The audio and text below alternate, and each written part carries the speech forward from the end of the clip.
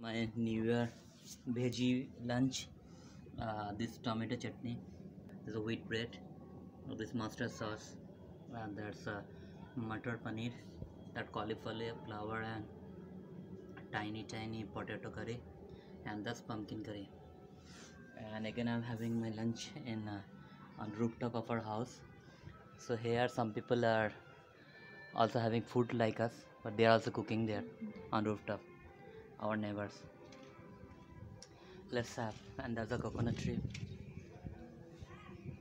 You can you can hear some songs. They are playing hindi songs. So let's have.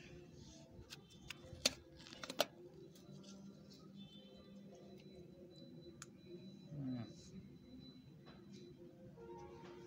awesome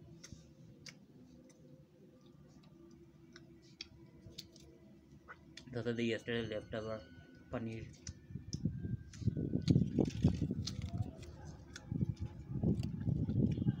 And This cauliflower.